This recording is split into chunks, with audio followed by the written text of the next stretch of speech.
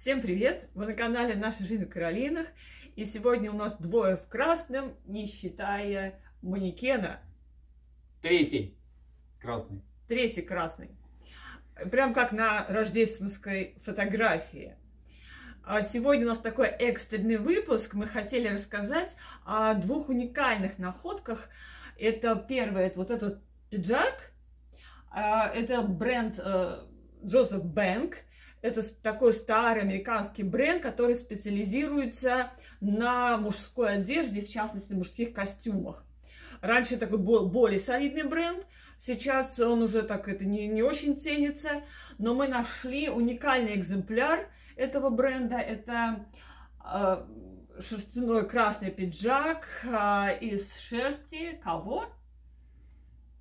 Верблюда. Э, вообще пиджаки из верблюжьей шерсти, они э, особенно ценятся, но это вот Джозеф Бэнк, но это уникальный вариант, красный, вот его на eBay их таких прям поштучно.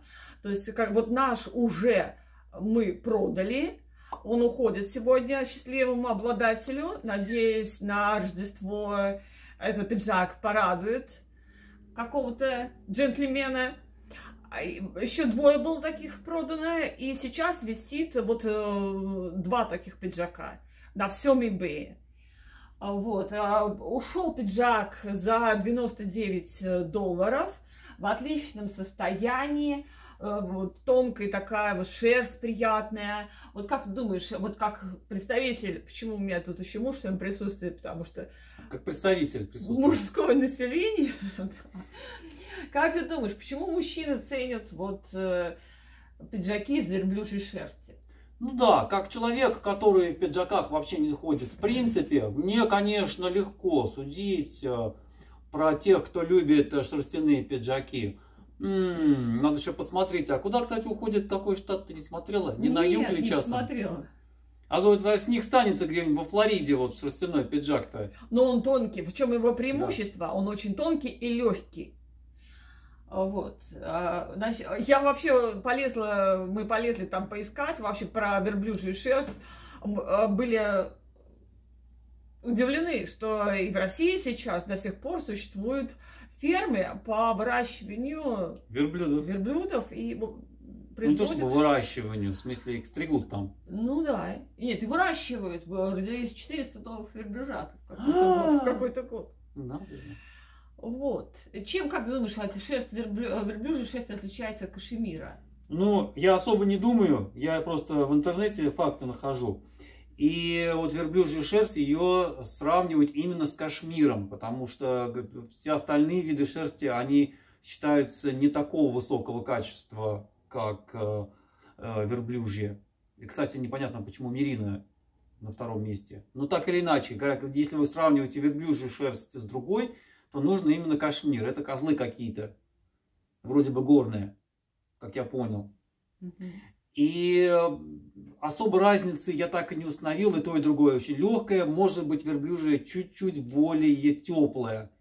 То, что не просто теплое, надо уточнить, а именно на удельную плотность теплее.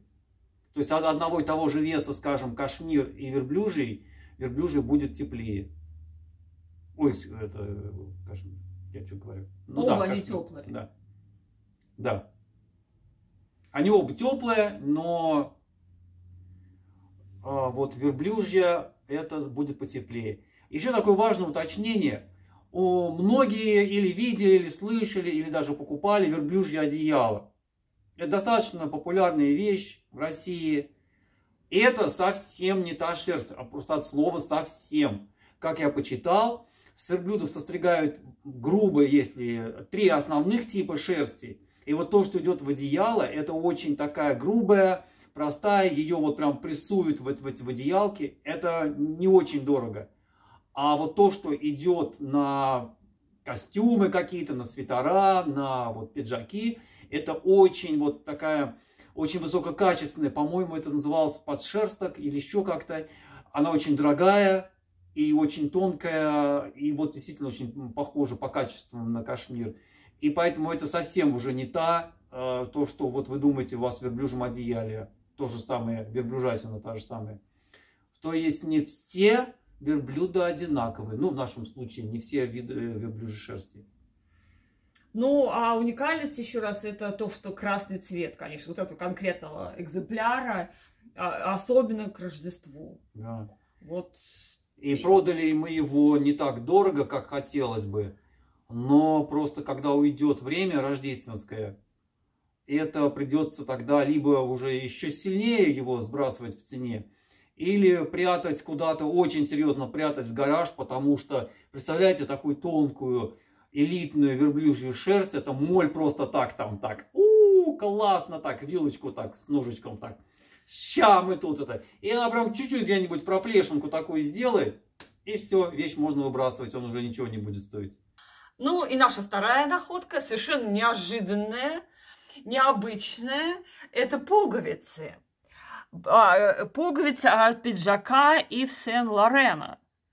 Мы нашли пиджак, но он был побит вот той самой молью.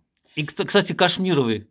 А, сделанный во Франции, то есть все на все говорит о том, что это вот э, натуральное Ив Сен-Лорен.